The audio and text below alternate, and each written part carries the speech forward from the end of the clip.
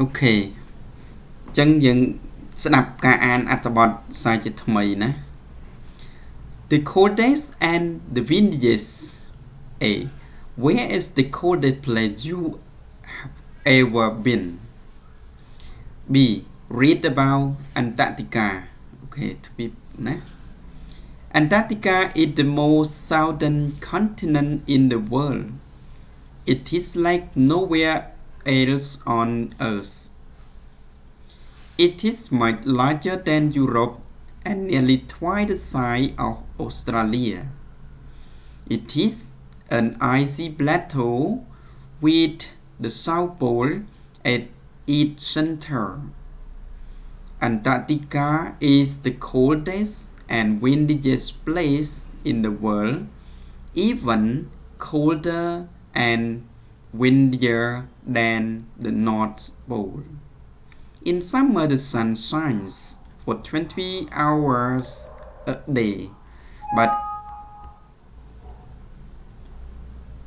but in the winter, it's completely dark for about three months. Very few plants grow there, but there is some wildlife, including whales, seals, and penguins. When Captain James Cook sailed around the continent in the 1770s, he found no one living there. Today, a few scientists work in Antarctica, but they only spend fairly short periods there. Many scientists in Antarctica are studying the ozone layer.